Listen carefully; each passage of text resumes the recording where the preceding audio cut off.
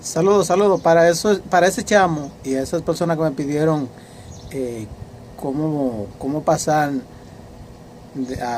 al sexto grado en la segunda guitarra, eso es eh, lo que se hace tanto en el requinto es, es- es lo mismo. Si estamos en do mayor en el requinto, esto lo que va a hacer es que va a dar do mayor, eh, si menor y la que es el, el sexto grado. Es decir, es relativo. Lo conocemos así también, sexto grado es el mismo relativo. Si está en sol, va a dar sol, fa sostenido menor y mi menor, que es el relativo.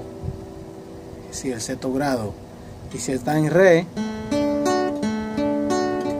va a dar re, va a dar do sostenido menor y va a dar si menor, que el relativo también. Y así, igual que en la también,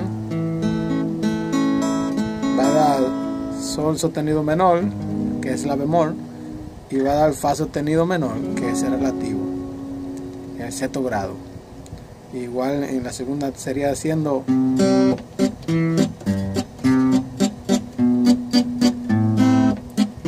para do y la.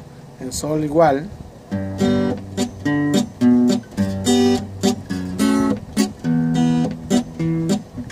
Igual también.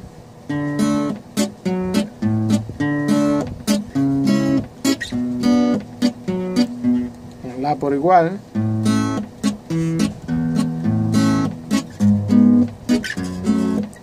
También hay una forma de hacer lo que es en acorde, que mucho- muchos lo usamos cuando estamos tocando pues una balada y cosas ya un poco menos que la bachata, un poco eh, más dura que la bachata, como quien dice.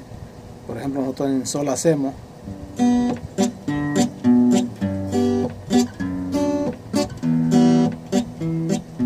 En do sería.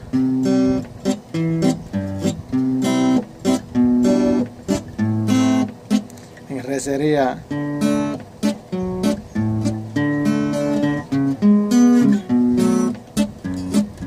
Eh, son acordes que ya se en, la por igual.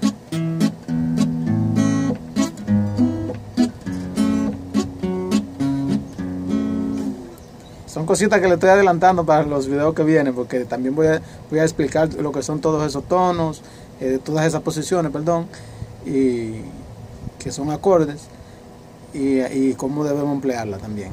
Ya ustedes saben, suscríbanse, compartan el video para que los demás aprendan y dejen de criticar lo que están criticando, que esto no es relajando.